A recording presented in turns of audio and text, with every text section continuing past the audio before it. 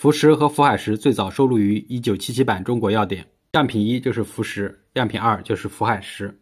浮石的来源为火山喷发的岩浆凝固成的多孔形石块，表面为灰白色或者是灰黑色，具有许多细孔，体轻质硬而脆，断面疏松，常有玻璃样或者绢丝样的光泽。我们来凑近给大家看一下，它的整体是非常轻抛的，因为它上面有很多的细孔。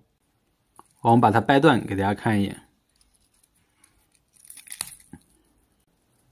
大家看它非常疏松，我们稍微一用力掰断。它整体就松散开了。我们可以看到它的断面有绢丝样的光泽，或者是玻璃样的光泽。因为浮石它的主要成分是二氧化硅，二氧化硅是制作玻璃的主要成分，所以它会形成这样断面的形态。样品二就是浮海石，浮海石的来源为孔包科动物鸡突苔虫的干燥骨骼，呈现珊瑚样的不规则块状，大小不等，灰白色或者是灰黄色，表面多凸起的呈分叉状。中部交织如网状，体轻质硬而脆，表面和断面均有很多细小的孔道。我们来凑近给大家展示一下，大家可以看到它整体像一个菜花一样。我们来把它掰断看一下，掰断以后我们可以看到它的内部不是实心的，和它的表面是一样的，都是呈分叉状的网状，断面的细孔很明显，因为它整体呈菜花状。所以市场上也有人把它叫做浮石花或者是海花。样品三呢，就是海浮石碎掉以后的状态。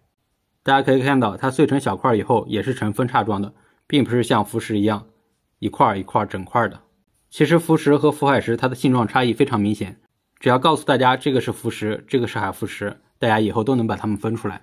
但就是因为很多医生并不认识浮石和浮海石，包括有很多视频平台上的科普视频，有很多博主也是把它们给搞混了。把浮石标为了浮海石，所以在这里我们要给大家拍个视频讲解一下。刚才我们说了，浮石的来源为火山喷发的岩浆，所以它是矿物药；而浮海石它是孔包科动物及凸台虫的干燥骨骼，所以说浮海石是动物药。而且它们两个价格也相差了几十倍，浮石很便宜，浮海石比较贵。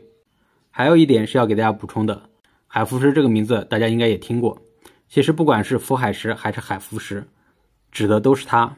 我们的样品二，福海石这个名字最早收录于1977版的《中国药典》。海浮石这个名字呢，算是它的别称，是在各地方标准有收录的。而且各地方标准收录的时候，又增加了一个它的来源，这个来源是孔包科动物瘤苔虫的干燥骨骼。所以现在福海石有两个来源，一个来源是孔包科动物鸡突苔虫的干燥骨骼，一个来源是孔包科动物瘤苔虫的干燥骨骼。样品四就是孔包科动物瘤苔虫的干燥骨骼。我们可以把它和样品二对比一下，我们可以看到瘤苔虫它的干燥骨骼整体的枝杈要稍微大一些，要粗壮一些。最后呢，给大家做一个小实验，浮石是不是真的能浮起来？